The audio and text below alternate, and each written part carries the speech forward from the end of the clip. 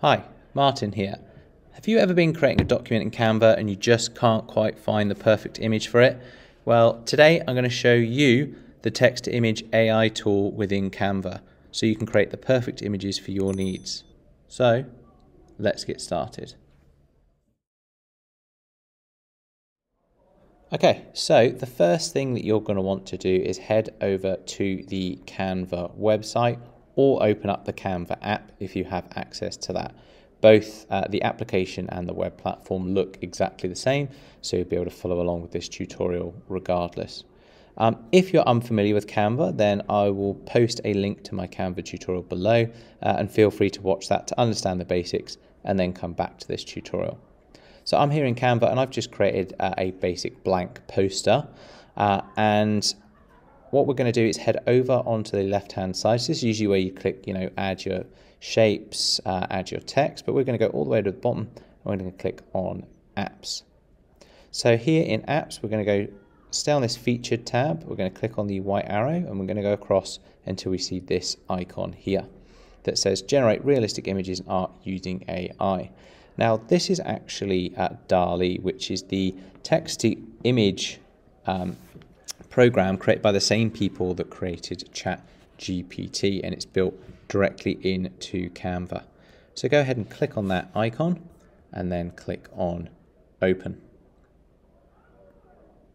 Okay, so we're back in our usual Canva uh, view here, but now over here on the left hand side, we have this text box. Now this is where we can add our description of the image that we would like our AI to create for us.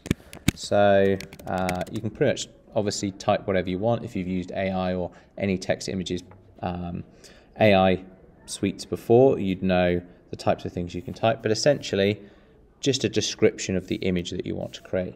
So I'm going to have uh, a panda riding a bike along the uh, Thames in London.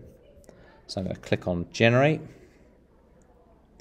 And then whilst that's being generated, you may have to wait just a little while. And then once it's generated, you'll have a couple of images that you can choose from.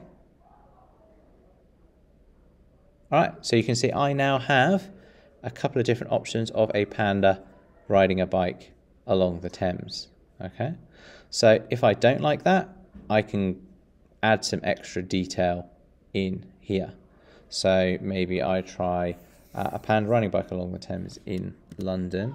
Uh, that looks like a painting. And then I can click on generate again. So you can kind of keep going back and forth with your description until you get the image that you are looking for.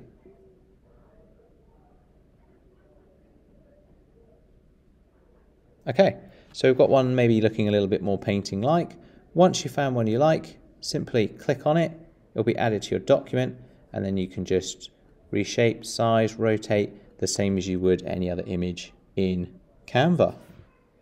So there you have it. It's a really powerful text to image AI tool built directly within Canva that you could start using today. So if this video has been useful, please give it a like, comment below, and subscribe for more. Thanks, and I'll see you in the next video.